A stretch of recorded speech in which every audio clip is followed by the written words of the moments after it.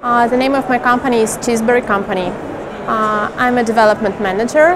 Uh, we are producing cheesecakes, frozen cakes, and cottage cream cheeses for pastry and confectionery.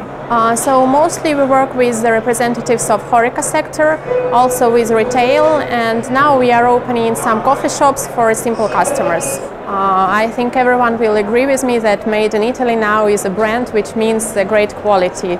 Uh, so my company uh, wants to have such type of quality and of course it's, most, it's very important. Uh, I think it's the most important thing because uh, time flies and what is modern today will not be modern tomorrow. So the only way to develop your business is to have innovations in it.